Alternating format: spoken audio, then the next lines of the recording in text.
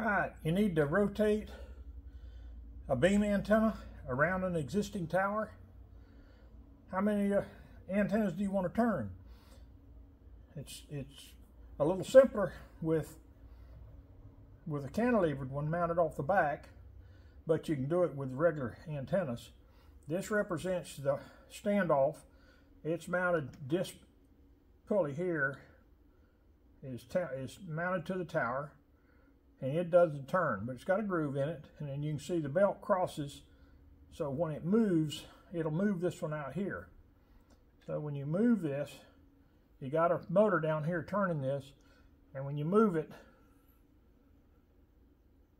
the one-to-one -one ratio, when it gets around here to 180 degrees or 90 degrees from where it started, it's pointed south.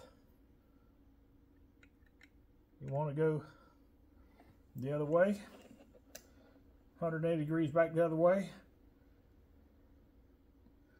pointed south again. Now, if you're pointed south and your stop is at the south like we do here in Florida, most of us, and you want to swing around a little bit more to the west, and you can't go any further on your regular rotor, all you do here, you just move it around another 40 degrees or so, and you're talking to Fort Myers. You don't have to swing all the way around the other side to get Fort Myers. Same thing if you're talking south there and you want to go Palm Beach or somewhere that's within 40, 45 degrees, and that all can be regulated by the difference in the size of these pulleys, what the ratio is.